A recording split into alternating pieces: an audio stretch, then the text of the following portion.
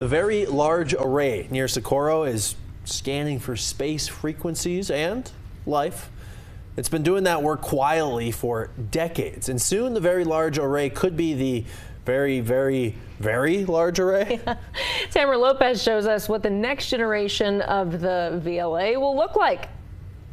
It doesn't look like much, but all those small adjustments to the antennas at the Very Large Array Monday morning are crucial to gathering information about how the universe works. The 27 radio telescopes work together to gather signals that are later analyzed by scientists, even for signs of life out there. And you can see the different configurations the antenna are moved to throughout the year online. And now, the Very Large Array is set to grow. A new $2 billion expansion will increase the number of antennas by almost 10 times. The new project is called the Next Generation Very Large Array. The National Radio and Astronomy Observatory says the expansion will bring 260 new antennas. About 160 of those will replace the current 27 near Magdalena. The rest will be scattered across North America. And as those radio telescopes continue to search for signs of life, they'll also have a stronger range. In total, the next generation Very Large Array is set to cost about $92 million a year to operate. No word on when the expansion will start. Tamara Lopez,